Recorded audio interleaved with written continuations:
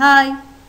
Most of the optical instruments like telescope, microscope, camera, eyeglasses have one or more than one lens. The lens is an optical system that gives for an object a similar reproduction of the same shape called image.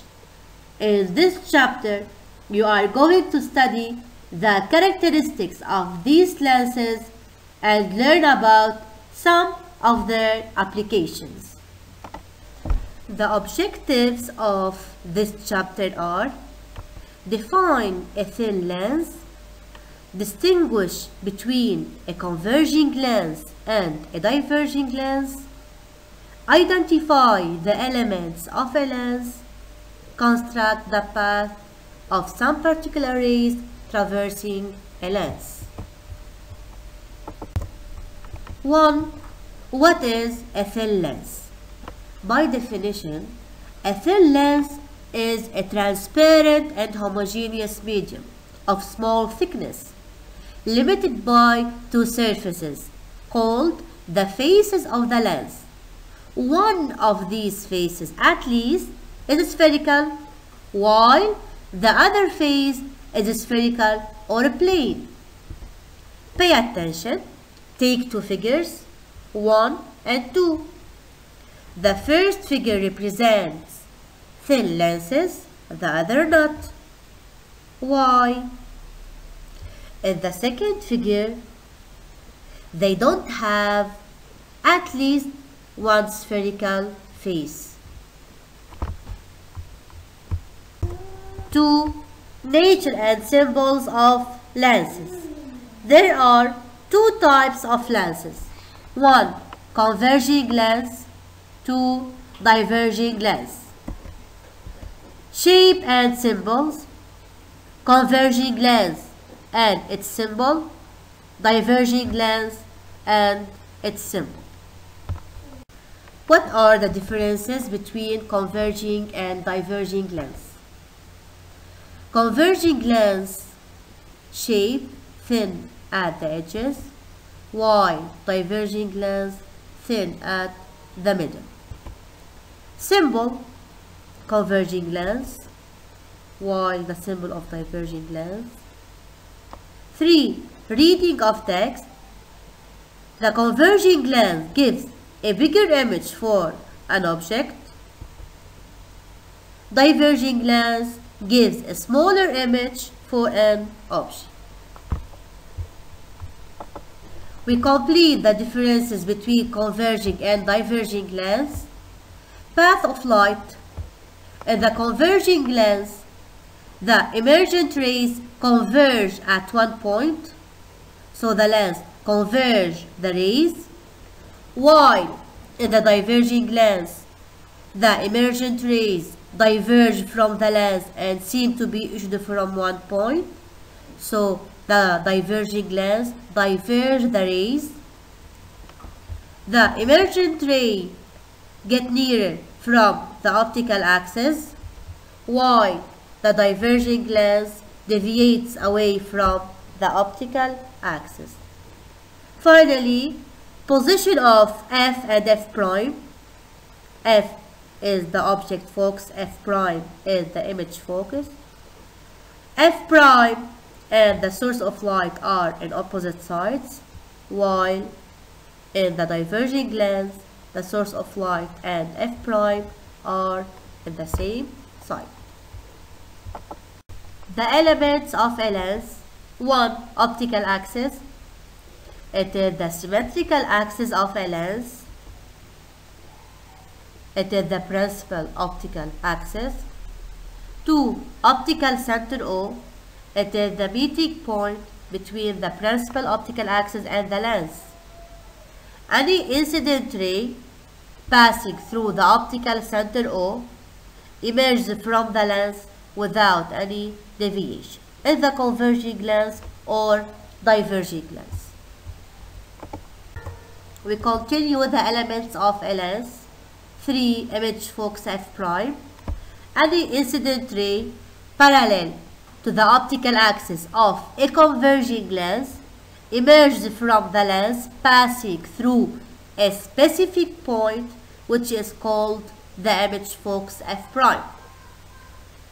In a cylindrical beam of light, parallel incident rays, all the corresponding emergent rays pass through f prime. We noted that in a converging lens, the source of light or the incident rays and the image focus f prime are in opposite sides. For the object focus f, any ray passing through the object focus f emerges from the lens parallel to the optical axis. Note, f and f prime are symmetrical with respect to the optical center O. That means OF equal OF prime. The focal length f of a converging or diverging lens. By definition, it is the distance between the optical center of the lens O and its image focus f prime. So f equal OF prime. In a converging lens, the focal length f is positive. In a diverging lens, the focal length f is negative, according to the figure. In a converging lens, the luminous incident rays and the image focus f prime are in opposite sides. But in a diverging lens, the luminous incident rays and the image focus f prime are in the same side. How can we determine the focal length f of a converging lens? We can determine the focal length f of a converging lens by using the image of a very far object. Materials. Very far object like sun, magnifier. It's a converging lens, screen, ruler. Procedure. Place the converging lens or the magnifier between the sun, very far object, and the screen. We start displacing the magnifier until we obtain a clear image of the object on the screen. We measure using the ruler the distance between the magnifier converging lens and the screen. This distance represents the focal length f of the lens. What do you conclude? The image of a very far object is formed on the image focus f prime. So the distance between the lens and the image is equal to the focal distance f. So d prime equal f. d prime, the distance between the lens and the image, f, it is the focal distance of a lens. Construct the path of some particular rays. In a converging and diverging lens, any incident ray passing through the optical center O will continue its path without any deviation. 2. In a converging lens, any incident ray parallel to the optical axis of the lens emerges passing through the image focus f prime. In a diverging lens, any incident ray parallel to the optical axis of the lens emerges and seems to be issued from the image focus f prime. In a converging lens, the incident ray and f prime are in opposite sides, while in a diverging lens, the incident ray and f prime are in the same side.